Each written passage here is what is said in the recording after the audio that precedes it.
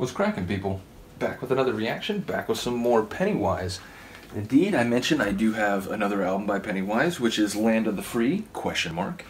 Uh, and that is the one we're going to listen to today, also on Epitaph, just like the self-titled one that we listened to last last time. Uh, so the tune that I wanted to listen to, I mentioned, I think "Fuck Authority" is the most uh, popular and well-known tune. I think the "Land of the Free," the you know title track, is also very uh, well-known.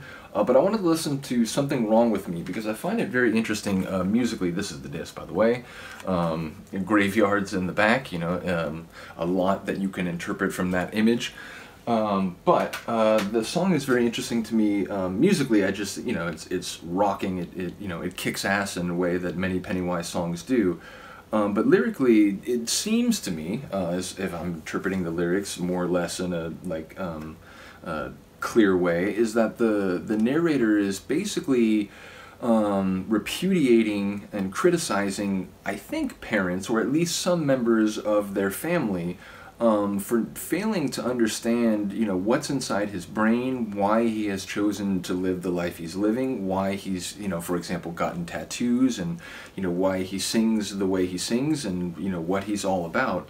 Um, and indeed, I think there's a fundamental disconnect because he eventually says, like, look, you think I'm rude, you think, like, you know, I'm crazy, but ultimately it's just clear to me that, you know, you are not like me. Like, you raised me to be a product of all this. You raised me to, like, you know, make me go to school, make me go to church, make me do everything that a good little boy is supposed to do, and look what it's produced to me. Well, it eventually made me resist those things. It eventually made me pull back from those things and not want to be a part of them. Um, so I do think the song is speaking about about religion specifically. I do think it's also like talking about like the way in which you know modern societies you get sort of socialized into the status quo and just sort of like accepting that all these little like fragmentations and sort of like progressions of our lives as you know laid out by people, um, whether in our family or other guardians and so on. Um, like pulling back from that, I think is something that uh, if someone is embraced by their family, it could be a very affirming thing. But in this case, I think there was a sharp rejection of what this person was becoming, and therefore there's this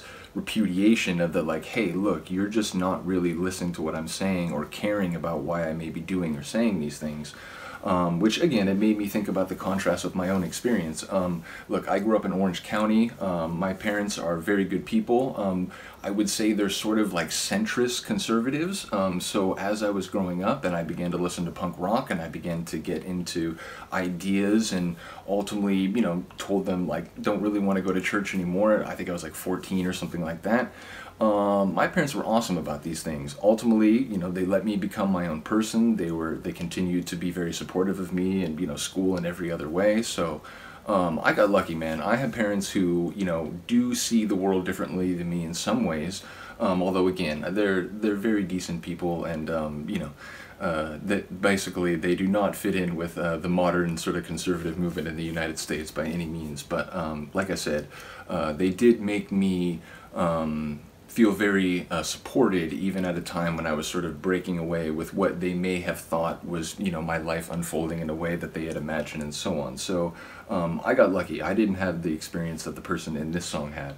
Um, so yeah, shout out to my parents and shout out to my family for being supportive even if I'm sort of, you know, an ideological outlier in many respects um, to, you know, sort of um, the the wider family. Nevertheless, um, I do uh, think that the lyrics uh, really struck me because of that contrast, and it was just like, man, like I can only imagine, like, what if my parents were like, nope, you know, you're either coming to church with us or you're getting out of the house. I don't care that you're a teenager or whatever. Like, I'm sure for many people that is the stark, you know, reality, and like even if you were to bring up the possibility, I imagine there would be severe consequences. So. Um, yeah, it, it is interesting to me for the contrast. Um, but yeah, let's get to it. This is Something Wrong With Me by Pennywise on their album uh, Land of the Free, question mark, from 2001 on Epitaph.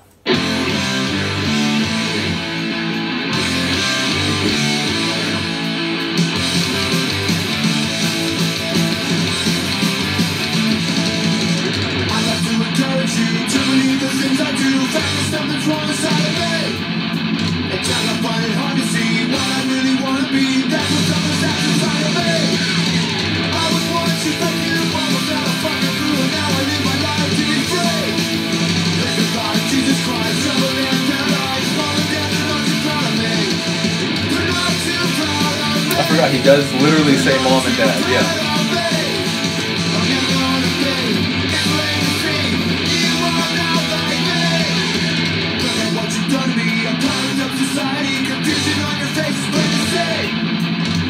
It's like guitar work.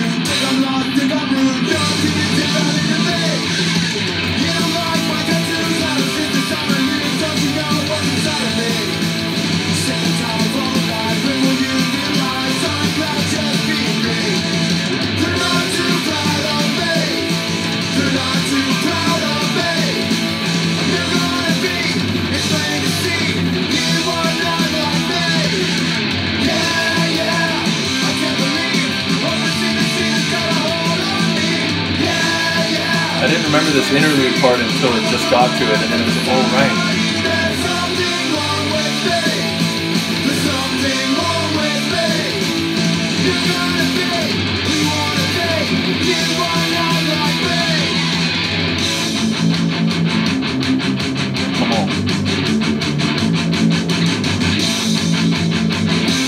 Tempo shift, little build up.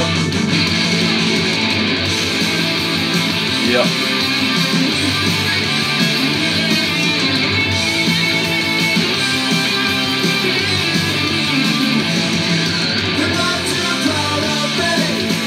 Right back into it.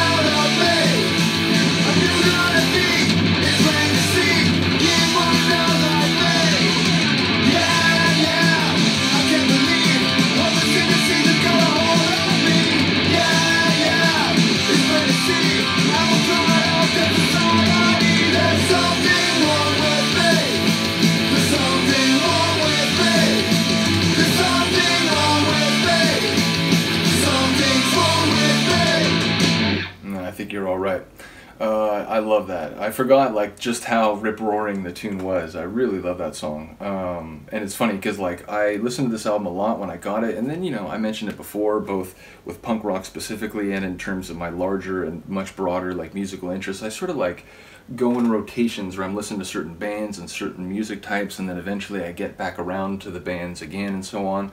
Um, and I remember like the early 2010s, I sort of started listening to the the couple Pennywise albums that I had a lot again. Um, and this was one of the songs that really stuck out to me. Um, so let me know if there's another tune on this one or the self-titled one that you'd like to hear reacted to. Um, I'm sort of like enjoying getting back into the sound a little bit. Uh, so yeah, let me know if there's one you'd like to hear. Other than that, thank you for listening and watching. I do appreciate it. Have a good day. Have a good night. I'll see you next time. Peace.